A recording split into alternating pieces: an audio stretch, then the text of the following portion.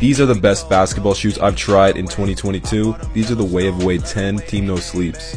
Starting out with the traction, this is a top 5 traction I've ever used. Also as squeaky as the Jordan 1, which is crazy. It has this carbon fiber shank plate which adds a ton of energy return and you feel like you're on a springboard. This along with the boom foam in the midsole, it makes this shoe feel like a trampoline on your foot. It features a one booty upper which provides a very good fit, and overall this shoe is a 9 out of 10 and this is my favorite basketball shoe of the year. Comment what shoe you want next and follow for more.